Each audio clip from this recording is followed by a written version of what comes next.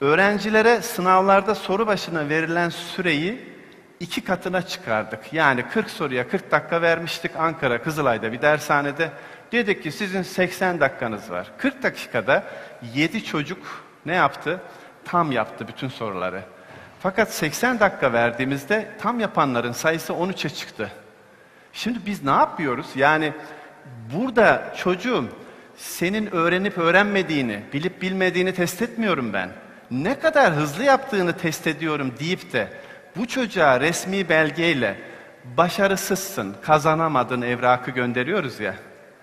Peki bu burada nasıl bir adalet var? Yani iki dakika verseydik çözecekse, üç dakika verseydik çözecekse, hayat böyle bir şey mi? Hayatta ömürlük problemler var. Bir adam ömrünü adıyor bir şeye, bir probleme.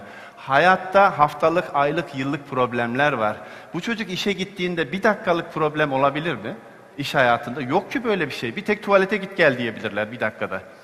Onun dışında öyle bir, bir dakikalık problemimiz yok iş yerlerinde. Mesela ortalamadan hızlı olmak, ortalamadan zeki olmak anlamına gelir mi? Hani çocuk sınava giriyor ya, ortalamadan da hızlı. Ortalamadan zeki mi? Belli değil. Peki mizaç olarak sabırsız olan bir çocukla çok sabırlı olan bir çocuğun sınav davranışı değişir mi sizce?